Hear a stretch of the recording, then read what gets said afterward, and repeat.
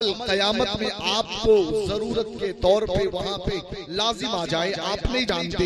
इस वजह से आप जब भी ज़िक्र रसूल में बैठा करें, महफिल रसूल में बैठा करें, अल्लाह उसके रसूल के ज़िक्र के लिए बैठा करें तो अपने होश को हमेशा संभाल के बैठा करें। ये जो जगह है, ये जगह इधर उधर की बातें करने के लिए, गुफ्तगु करने के लिए, मस्खरे करने के लिए, मोबाइल चलाने के लिए, आपके उठक बैठक के लिए नहीं है, बल्कि आप खुद सोचें, ये जो जगह है, अल्लाह उसके रसूल के ज़िक्र के लिए है वैसा ज़िक्र जिसे अल्लाह खुद किया करता है। अल्लाह तबारक ताला ने वो काम आपको सुपुर्द किया है कि तुम मेरे महबूब का ज़िक्र करो, तुम ज़िक्र करोगे मेरे महबूब का। मैं तुम्हारे ज़िक्र को सुनूँगा और सुनूँगा ही नहीं, बल्कि तुम दुनिया में रह के मेरे महबूब का ज़िक्र करोगे तो मैं तुम्हारा ज़िक्र आसमानों में किया करूँगा। तुम इंसानों में बैठ के मेरे महबूब का ज़िक्र करोगे, मैं फरिश्तों में तुम्हारा ज़िक्र करूँगा। जनाबे वाला, जरा सोचे जब अल्लाह रब्बुल इज़्ज़त आपका ज़िक्र करने लगे तो आपकी शान कितनी बुलंद होगी, आपका अंदाज़ा कितना अलग होगा। इतना ही नहीं, बल्कि मामला तो यहाँ तक है। फजकुरूनी अजकुरुकुम, तुम मेरा ज़िक्र करो, मैं तुम्हारा ज़िक्र करूँगा। अल्लाह से मोहब्बत का दावा करें, आप कभी भी महफिल रसूल में आए तो अपने दिल में मोहब्बत रसूल लेके आए।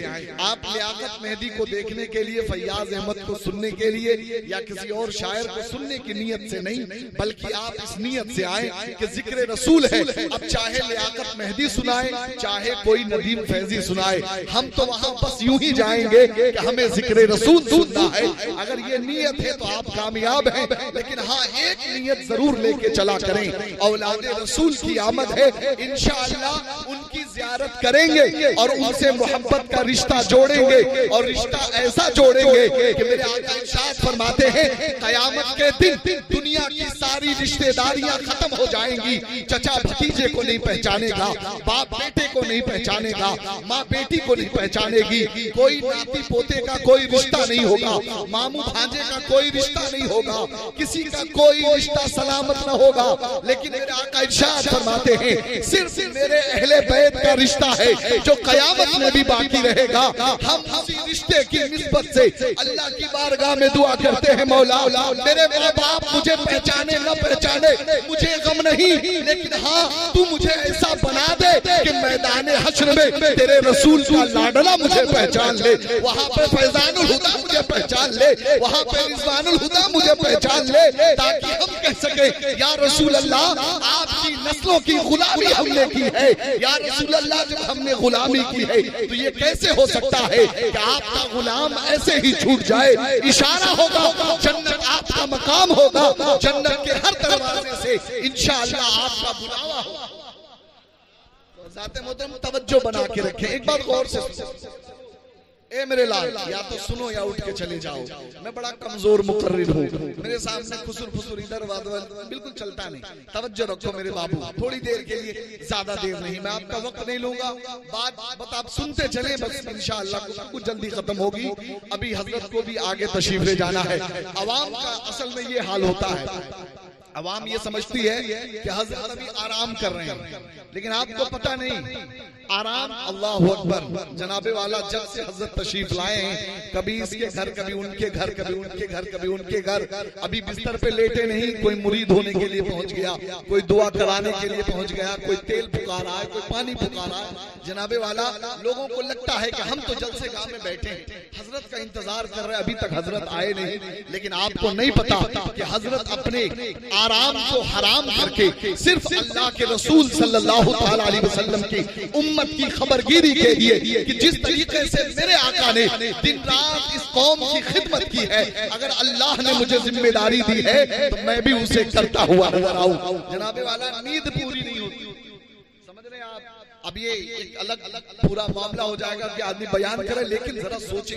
मुझे बताना इस वजह से पड़ता है ताकि आपको एहसास हो। नींद पूरी नहीं होती। अभी कहीं और से तशरीफ़ लाए आप यहाँ पे आए सफ़र करके। अभी फिर यहाँ से निकलेंगे।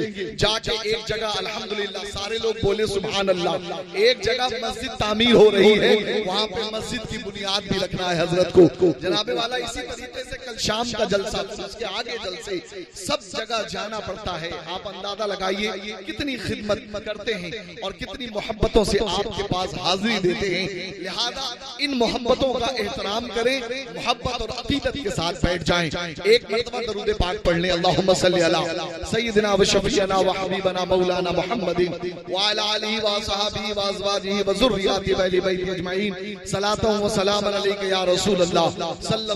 अल्लाह वसल्लम। हज़रत मोहतरम दरूद शरीफ ज़रूर पढ़ा करें। जब आप लोगों से कहा जाता है। तो आप समझते हैं कि दरूद शरीफ तो जलसे का एक ज़िक्र है। लेकिन ऐसी कोई बात नहीं है। दरूद शरीफ हमारी ज़िंदगी का बल्कि मैं कहूँ हमारे ईमान के लिए सबसे ज़रूरी चीज़ है। आप अगर दरूद पाक नहीं पढ़ते तो जनाबे वाला फिर आपका ईमान सलामत रहे। इसकी गारंटी बहुत कम है।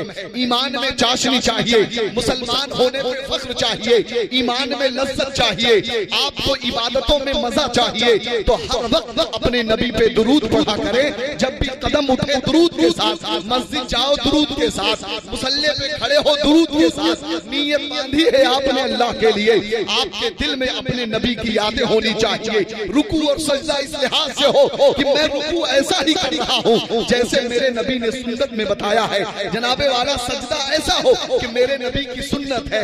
आप जब तशहुद पढ़ने बैठे, उलमा ने ये बयान फरमाया। आप अतियात पढ़ने के लिए बैठे तो जानते हैं एक दो आलिम नहीं बल्कि कसीर उलमा ने और अल्लामा जलालुद्दीन सुयूती रहमतुल्लाही ताला अलैहि ने पूरा एक रिसाला लिखा है इसी पर कि जब जब कोई बंदा नमाज़ में अपने नबी पे दुरूद पढ़े आज के माहौल में अल्हम्दुलिल्लाह सारे लोग बोले अल्हम्दुलिल्लाह।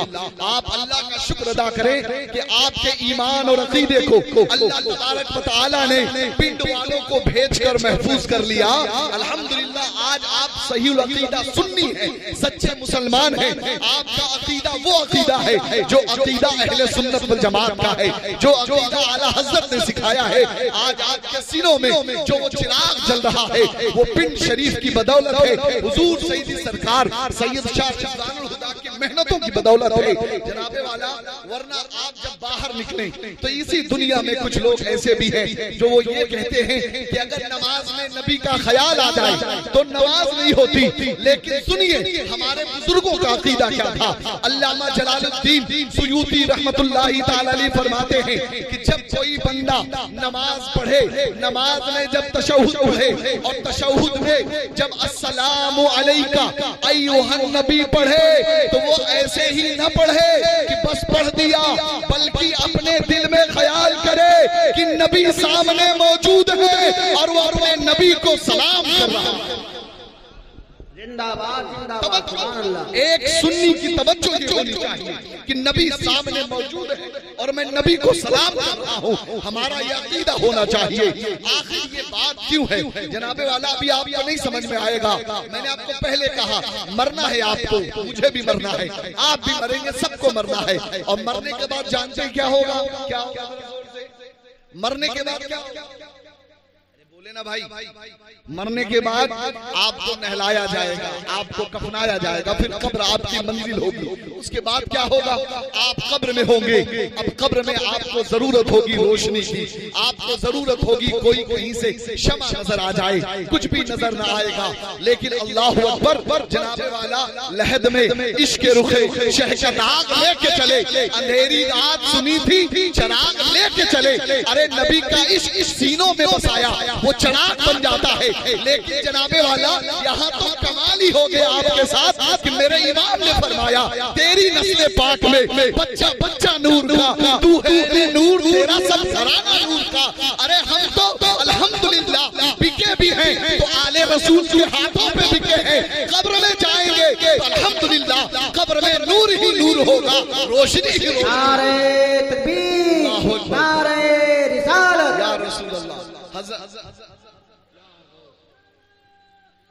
या ख्वाजा ज़िंदा ज़िंदा अल्लाह अकबर हज़रत मोहतरम अब आप समझे महशर का मैदान होगा। मेरे आका करीम अलैहिस्सलातो तस्लीम इरशाद फरमाते हैं जब हश्र का मैदान कायम होगा और हश्र के मैदान में अल्लाह तबारक व तआला जब अमल का तराजू कायम करेगा मीजान कायम होगा। आप जब दुनिया में कोई सामान खरीदने जाते हैं तो जब जब तराजू पे कोई चीज़ रखी जाती है अगर उसमें वेट ज़्यादा हो गया तो आपका पल्ला भारी आ जाता है। लेकिन जो अल्लाह मीजान कायम करेगा जो अल्लाह तराजू कायम करेगा, वो तराजू ऐसा नहीं होगा, उसमें जो चीज़ वज़न हो वाली होगी, वो ऊपर को पल्ला उठ जाएगा, और जिसमें कमी होगी, वो पल्ला नीचे चला जाएगा। हश्र के मैदान में अल्लाह रब्बुल इज़्ज़त मीजान कायम करेगा। आपके अमल तोले जाएँगे, जिसने जो कुछ दुनिया में किया है, हर एक अमल जितनी भी नेकी की है, सब रखा जाएगा। जितनी भी बुराई की है, चाहे अंधेरे में छुपकर, चाहे लोगों से छुपकर, जमाने वालों से छुपकर, आपने चाहे ताला लगा के किया हो किसी भी तरीके से किया हो कयामत के दिन कुछ भी नहीं छुपना सब ज़ाहिर होगा। जनाबे वाला अल्लामा तस्दीरी रहमतुल्लाहि ताला अलैहि फरमाते हैं हश्र के मैदान में एक आदमी हाजिर किया जाएगा। अमल तोला गया फैसला ये होगा इसे पकड़ो जहन्नम की तरफ़ ले जाओ फरिश्ते ले जा रहे होंगे। अब ऐसे आलम में जब कहीं पे कोई यारो मददगार नहीं कोई हामियों पुरसाने हाल नहीं जनाबे वाला मेरे नबी अलैहि सलातो तस्लीम, आपके बारे में अल्लामा हसन रजा अलैहि रहमत रिजवान इरशाद फरमाते हैं, कहेंगे, और नबी, इजहबू इला गैरी, मेरे सरकार के लब पे अना लहा होगा, और अज़ीज़ बच्चे को माँ जिस तरह तलाश करे, अज़ीज़ बच्चे को माँ जिस तरह तलाश करे, मेरे सरकार का हाल वही होगा, हज़रत मोहतरम, जरा सोचे मेरे सरकार अली सलातो तस्लीम अपने उम्मतियों को तलाशेंगे, अब फैसला हो गया जहन्नम की तरफ़ ले जाओ। वो पलट के देखेगा, कोई आ जाए। वो पलट के देखेगा, कोई उम्मीद की किरण हो, कोई बचाने वाला आ जाए। लेकिन जनाबे वाला, उसको फरिश्ते लेते जा रहे हैं। इतने में क्या देखेगा? एक सफ़ेद नूरानी पोशाक वाले हाजिर होंगे। नूरानी चेहरा है, नूरानी कामत है, नूरानी बदन है। आने वाले ने अपने जेब में हाथ डाला, एक कागज़ का टुकड़ा निकाला, निकाल कर अमल के तराजू पे रखा। नेकियों के पल्ले में जैसे ही कागज़ का टुकड़ा गया फ़ौरन नेकी का पल्ला भारी हो गया और उठ ऊपर को उठने लगा। अल्लाह की रहमत जोश में आएगी। फरमाए गए मेरे फरिश्तों मेरे बंदे को वापस ले आओ। अब इसका मकाम जहन्नम नहीं बल्कि जन्नत होगा। जनाबे वाला जन्नत का मुद्दा मिलता हुआ नज़र आएगा।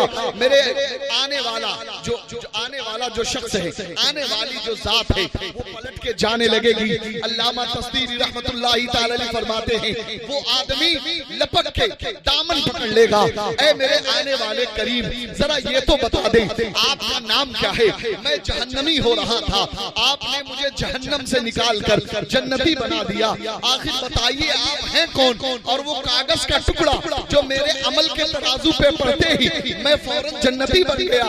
आखिर वो क्या था? गौर से सुनो मेरे मुसलमानों, मेरे नबी अलैहि सलातो तस्लीम फरमाएँगे, ए मेरे उम्मती, क्या तूने मुझे नहीं पहचाना? अरे मैं ही तेरा नबी हूँ, और जो तूने दुनिया में रहते हुए मुझ पे पढ़ा था, वो कागज़ का टुकड़ा, वही दुरूद था जो मेरे पास अमानत के तौर पे रखा हुआ था।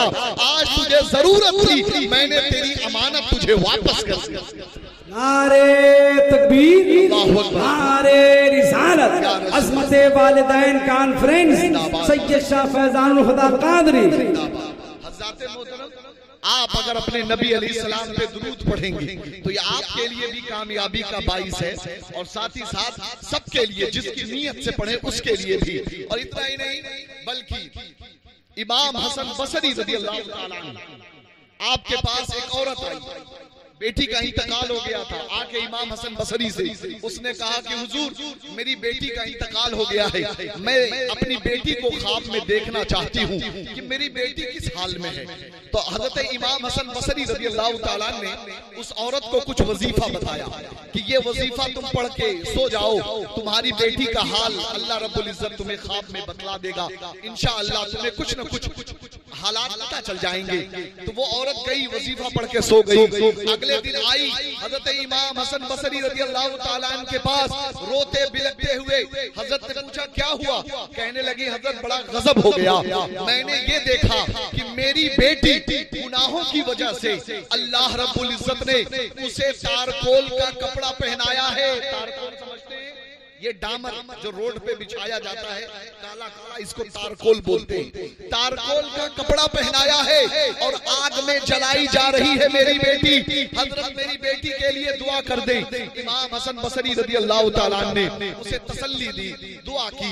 कुछ दिन गुजर गए इमाम हसन बसरी फरमाते हैं एक दिन मैंने ख्वाब में एक हसीनो जमील लड़की को देखा। आने वाली लड़की मुझसे कहा, अस्सलाम वालेकुम क्या मुझे आपने पहचाना? इमाम हसन बसरी कहते नहीं, मैंने नहीं पहचाना कि तू कौन है। हज़रत मोहतरम, इमाम हसन बसरी फरमाते हैं कि मैं उसे पहचान न पाया।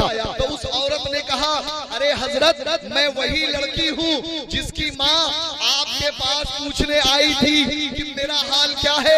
इमाम हसन बसरी ने कहा, तेरी माँ ने तो ये बताया था, तू तारकोल के कपड़े को तारकोल के कपड़े को पहनाया गया है और तुझे आग में जलाया जा रहा है। तेरा हाल तो ये है, लेकिन मैं देख रहा हूँ कि तू तो बहुत खुश नज़र आ रही है। तेरा हाल तो बड़ा अच्छा है, तू तो बहुत बेहतर लग रही है। तो वो कहने लगी हाँ हज़रत, मेरा हाल यही था, मेरे गुनाहों के सबब, मेरे अमल की खराबियों के सबब। अल्लाह रब्बुल इज़्ज़त ने मुझे तारकोल का कपड़ा पहनाया और मुझे आग में जलाया जा रहा था। लेकिन एक दिन हमारी कब्रस्तान के करीब से एक अल्लाह वाला गुजरा। उसने हमारे नबी पर पर दुरूद पाक पढ़ा और पढ़ के कब्रस्तान के सारे मुर्दों को बख्श दिया। अल्लाह ने दरूद पाक की बरकत से कब्रस्तान के सारे मुर्दों की मगफिरत फरमा सारे कब्रस्तान के मुर्दों की मगफिरत फरमा दी। हज़रत मोहतरम, मैं आप सभी से औरत मर्द जितने भी लोग मौजूद हैं, सबसे ये अपील करूँगा, आप अपने अपने वालिदैन, अपने अइजा अकरबा, उनको दिल में हाजिर ले आए और खसूसियत के साथ, आली जनाब गुलाम जिलानी भाई, वालिद मोहतरमा के लिए एक मरतबा दुरूद पाक इसी नियत से पढ़ के बख्श दे। अल्लाह तबारक व तआला इंशाअल्लाह कबूल फरमाएगा, पढ़ें। अल्लाहुम्मा सल्ली अला सय्यिदिना व शफीना व हबीबना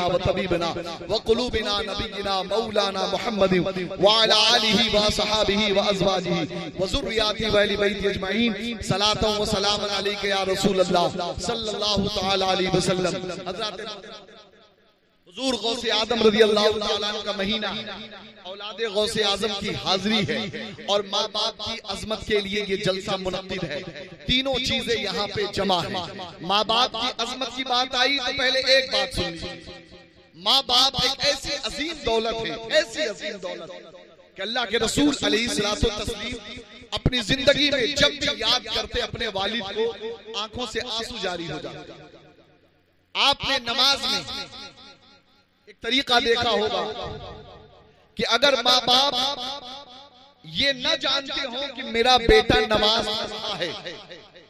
और माँ अगर बेटे को आवाज़ लगा दे तो बेटे के ऊपर ये ज़रूरी है कि वो नमाज़ तोड़ के अपने माँ बाप की खिदमत के लिए हाजिर हो। ये शरीयत का मसला। माँ बाप को पता नहीं है कि मेरा बेटा नमाज़ पढ़ रहा है और उन्होंने आवाज़ लगा दी।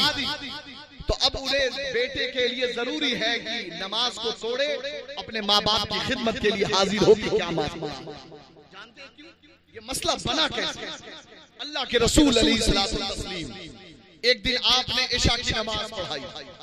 मुसलमानों का एक जम्मे गफीर आपके पीछे सब बांधे हुए, हाथ बांधे हुए, जनाबे वाला नमाज़ अदा कर रहा। मेरे आका देखे दिल अशश कर उठा कि कल तक जिनके दिलों में ईमान नहीं था कल तक जो जहालत की आग में जल रहे थे कल तक जिन्हें खाने पीने का तरीका पता नहीं था कल तक जिन्हें हराम हलाल की तमीज नहीं थी कल तक जिन्हें माँ बाप की अजमतें पता नहीं थी। अल्लाह का शुक्र है कि आज अल्लाह ने उन भटकी हुई पेशानियों को मेरे से उनको अल्लाह की बारगाह में झुका लिया है। जनाबे वाला मेरे नबी अल्लाह का शुक्र अदा कर रहे हैं। नमाज़ मेरे नबी ने पढ़ाई दिल में ख्याल आ गया। माँ की याद आई। आँखों से आँसू जारी हो गए। मेरे नबी अली सलाम ने सलाम फेरा और सलाम फेर कर अपने घर के दरवाजे की तरफ़ देखने लगे और देख कर कहने लगे काश अगर मेरी माँ आज ज़िंदा होती और मेरी माँ मुझे ऐसे देखती और मैं नमाज़ पढ़ा रहा होता और मेरी माँ मुझे बुलाती कि बेटा मोहम्मद मेरे पास आ तो मैं नमाज़ को तोड़ देता और अपने माँ की खिदमत की हम खिदमत में हाजिर अल्लाह अकबर। या रसूल जिंदाबाद। जिंदाबाद। अल्लाह हज़रत मोहतरम, अंदाज़ा लगाइए।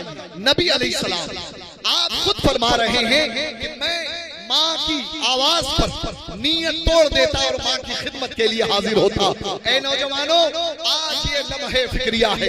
लोग सवाल करते हैं, आपस में बातें करते हैं। शादी हो गई, बेटा, अब माँ बाप को पहचानता नहीं।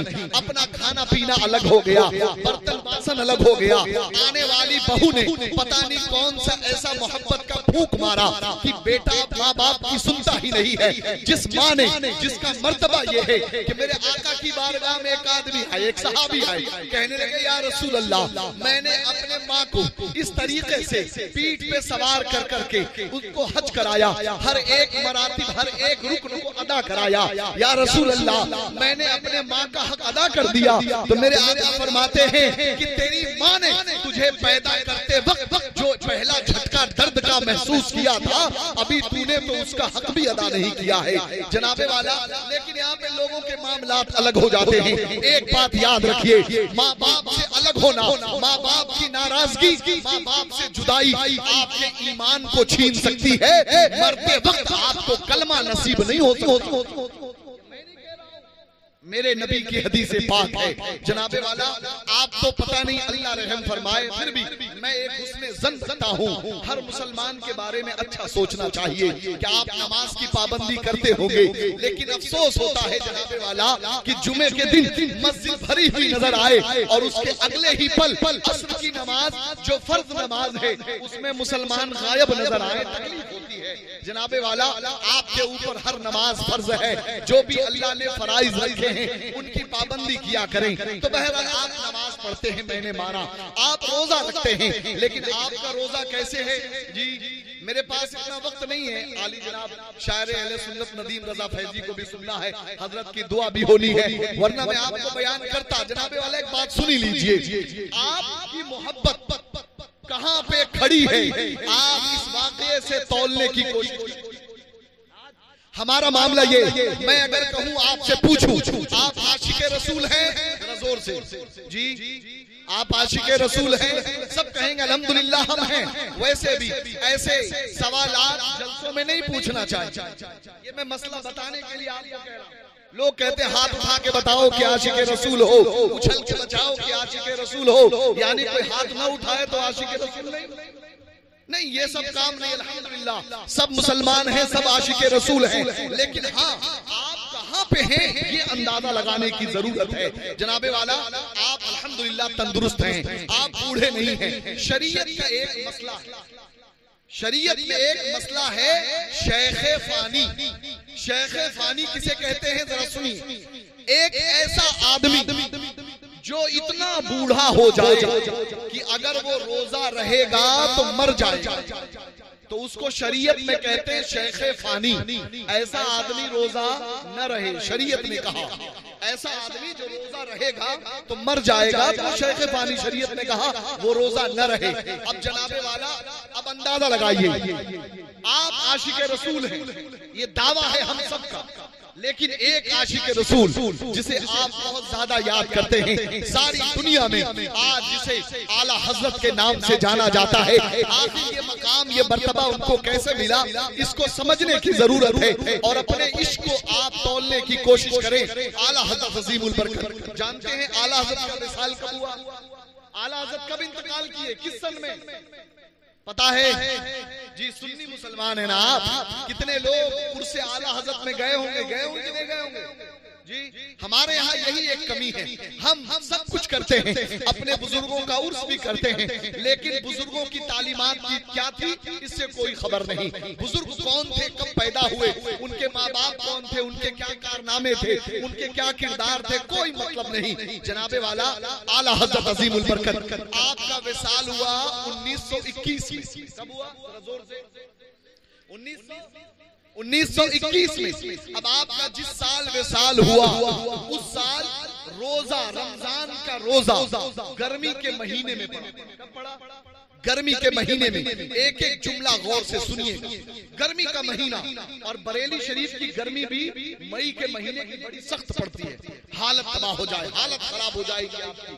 जनाबे वाले, ऐसी सख्त गर्मी। अब आला हज़रत अजीम बरकत, आप बीमार हैं, मरीज़ हैं, पेट के मर्ज से आप हमेशा उसमें लगे रहे। आपके पेट में तकलीफ़ रहा करती थी। उसके अलावा कमज़ोरी होते होते आप इतने कमज़ोर हो गए थे कि अल्लामा मुल्ला जफरुद्दीन बिहारी रहमतुल्लाहि ताला अलैहि ने कहा आला हज़रत से हुजूर आप तो बड़े बूढ़े हो गए हैं। इस साल रमज़ान का रोजा आप न रहे तो जरा गौर से सुनिए। आला हज़रत अजीमुल बरकत ने कहा क्यों? मुल्ला जफरुद्दीन बिहारी ने कहा आप तो शेख फानी के हुक्म में हैं यानी आप ऐसी हालत में हैं कि अगर आप रोजा रहेंगे तो आपकी जान जा सकती है। आला हज़रत अजीमुल बरकत ने कहा, यकीनन, अगर मैं बरेली में रह के रोजा रहूँगा तो मैं रोजा नहीं रख सकूँगा। शेख फानी के हुक्म में हूँ, लेकिन अगर मैं नैनीताल के पहाड़ों पे चला जाऊँ तो नैनीताल में ठंडी रहती है, और वहाँ पे मैं रोजा रह लूँगा तो मैं शेख फानी नहीं रहूँगा। मैं अल्लाह की इबादत नहीं छोड़ सकता। मैं अपने रसूल की सुन्नत नहीं छोड़ सकता। मुझे नैनीताल ले चलो। मैं नैनीताल में रह के रमज़ान के रोज़े रखूँगा। जमाना शाहिद है। एक अल्लाह का आशिक, एक अल्लाह के रसूल का आशिक, अल्लाह को चाहने वाला, अल्लाह की शरीयत को मानने वाला। जनाबे वाला ऐसे आलम ने जब बीमारी ने घर किया हुआ है, आप नैनीताल के पहाड़ों पे जाते हैं और जाकर मुकम्मल रमज़ान के रोज़े रखते हैं। और हमारा क्या हाल है? नौजवान, जेब में टेबलेट लेके घूमता है कि मैं बीमार हूँ, मुझे तरह तरह के इलाज कराने पड़ रहे जनाबे वाला, सब हश्र में खुल जाएगा। कौन किस इरादे से रहता था, क्या करता था? बहरहाल, मैं ये बयान कर रहा था, आप आशिक रसूल हैं तो अपने नबी की सुन्नत को अदा करें। आप कहाँ नमाजें पढ़ते हैं, हमें नहीं पता। लेकिन जरा सुनिए जनाबे वाला, अल्लाह के रसूल अली इस्लाम के पीछे एक सहाबी नमाज़ पढ़ते थे। अल्लाह के रसूल सलाम के पीछे नमाज़ पढ़ने वाले आपके हल्के ज़िक्र में बैठने वाले रोज़ाना नबी की बातें सुनने वाले आखिरी वक्त है जान निकल नहीं रही। कलमा पढ़ाया जा रहा, जबान पे कलमा आ नहीं रहा। मेरे नबी को जाके खबर दी गई, या रसूल अल्लाह आपके फला सहाबी, उनकी जान नहीं निकल रही, कलमा नहीं पढ़ा पढ़ा जा रहा। मेरे आका उठे, फ़ौरन तशरीफ़ ले गए, जाके देखा, सहाबी रसूल आखिरी वक्त में है। मेरे आका बैठ गए, गौर से सुनिए मेरे मुसलमानों, मेरे आका बैठ गए और बैठ कर मेरे आका खुद कलमा पढ़ाने लगे। खुद कलमा पढ़ाने लगे लेकिन फिर भी कलमा जबान पे जारी नहीं हो रहा पढ़ाने वाला मेरे नबी अपने उम्मती को पढ़ा रहे। लेकिन कलमा जारी नहीं हो रहा। जनाबे वाला मेरे आका अली सलाम ने कहा, इनकी बीवी को बुलाओ। बीवी को बुलाया गया। पूछा, मेरे आका ने ये बताओ, ये कैसा आदमी था? बीवी कहने लगी, या रसूल अल्लाह ये बड़े नेक आदमी।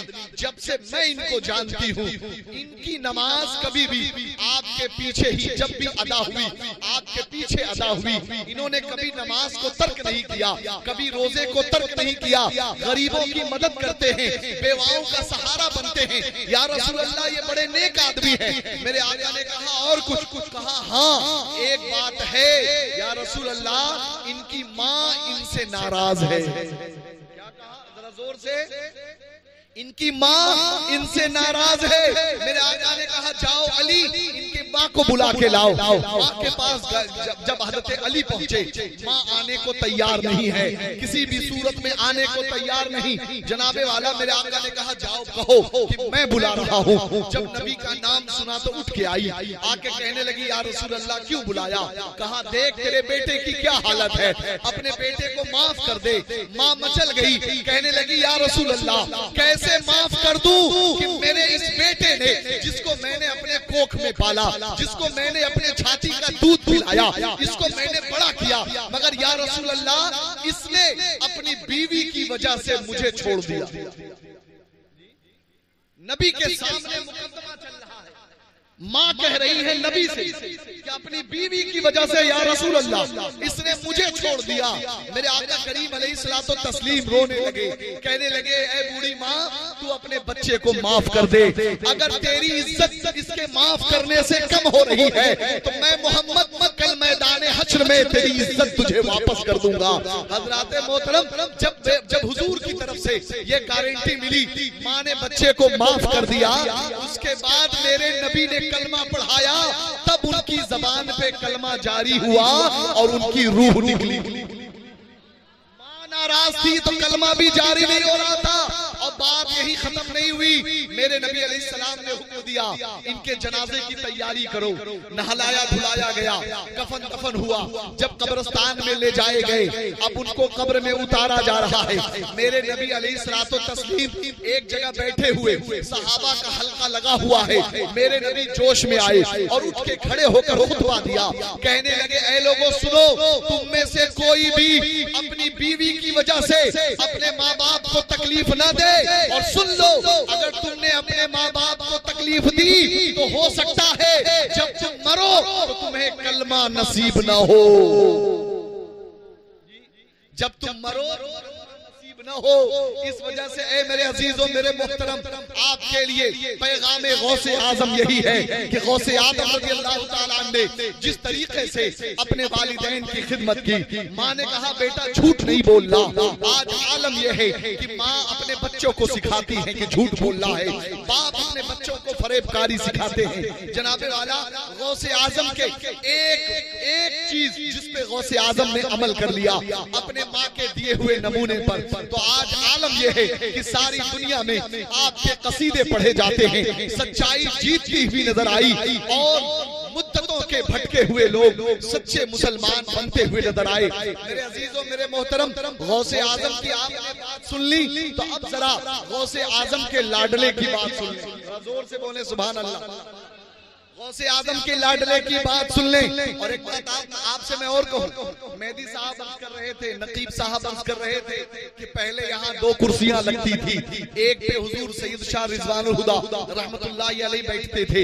एक पे हज़रत तशरीफ़ फरमा है। ये बैठते थे। जनाबे वाला आपकी आँखें देख नहीं पा रही कि यहाँ पे सैयद शाह रिजवान हुदा। बैठे हैं कि नहीं बैठे हैं? लेकिन जनाबे वाला मेरे पास दावा भी है दलील भी है। और यकीन भी है कि आपकी महफिल में हुजूर सैयद शाह रिजवान हुदा जैसे पहले हाजिर होते थे, वैसे ही हाजिर हैं। आपको देख भी रहे हैं, सुन भी रहे हैं, मुलाहजा भी। या रसूल अल्लाह हज़रत मोहतरम, अगर मैं दलील न दूँ तो मेरी बात कमज़ोर हो सकती है। आपको दलील मैं किसी ऐसे वैसे की नहीं, बल्कि आला हज़रत की दूँगा। बात ऐसे वैसे की नहीं, बल्कि गौसे आज़म की होगी। जानते हैं आला हज़रत अजीमुल बरकत की बारगाह में एक मर्तबा, एक आदमी पहुँचा। उसने एक सवाल पूछा, कहा, हुजूर, ये जो रिवायतों में आता है कि हुजूर गौसे आज़म, एक दिन में सत्तर मुरीदों के घर तशरीफ़ ले गए, एक ही वक्त में तो हमें ये बताइए कि हुजूर गौसे आज़म जो सत्तर मुरीदों के यहाँ गए तो क्या हुजूर गौसे आज़म ऐसे गए? मिसाल समझिए। आप अगर एक शीशा लें, शीशा। और शीशा को कई टुकड़ों में बांट दें।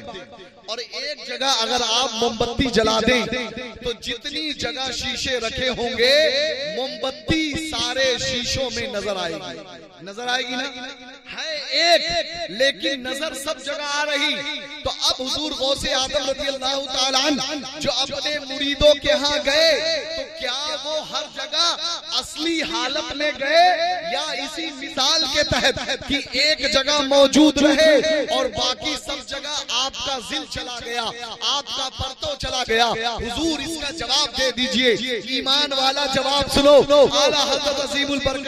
फरमाते हैं, अरे अल्लाह रब्बुल इज़्ज़त ने अपने एक अदना वली को ये मर्तबा अता फरमाया है कि वो दस हज़ार शहरों में, दस हज़ार मुरीदों के घर एक ही वक्त में अपने जिस्म के साथ हाजिर हो सकते हैं।